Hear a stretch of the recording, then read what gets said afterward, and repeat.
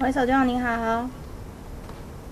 不好意思，我们手机王没有在贩卖手机。接电话接到手软，平均一个礼拜就会有很多消费者打到三 C 网站手机网投诉，不是买到假手机，就是有消费纠纷。就是我上手机网的网站，然后有登录会员那一些账号，然后就买了一只大概三九九零的红米机，而之后就陆续接到，就是说好像有那个诈骗的，还有寄简讯、寄赖给我说要再跟我确认我的名字和手机颜色，还有我要不要加购的东西。原来是有诈骗公司打着手机网名号，特别是只用 Line 来做交易沟通平台，让消费者傻傻分不清楚，在网络上卖起比市价便宜三折的山寨手机。仔细看山寨版的 logo，跟手机王同样都是黄底黑色的 S 字母，网址也是用上 S O G I 四个字母，相似度高达百分之八十。报警动作主要还是说侵犯商标的部分，那至于说可能在消费者部分，可能还是要有这种所谓被诈骗的消费者，他要自己去去报警或提告，才会有才有办法去做进一步的解决